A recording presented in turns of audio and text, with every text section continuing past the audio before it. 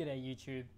Today I'm going to show you how to turn on and off your Wi-Fi uh, adapter or network card through the terminal. So what you first need to do is type in iwconfig in a terminal just to find uh, the name of your Wi-Fi network adapter and or card indeed. Then you'll find that there's a few options here. There's the loopback, the WLAN 0 or the ETH 0. And the WLAN 0 is of course the wireless LAN and the Ethernet.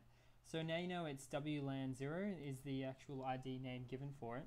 So from that point, uh, go back into the terminal and type in if config WLAN 0 down. And also, sorry, at the front of it, type in sudo uh, because you do need the root privileges to do this. So sudo ifconfig WLAN 0 down and this will turn it off which we'll notice very shortly from here. Okay up the top right there. So I'll throw in my password. And then uh, after about 30 seconds this will actually disconnect.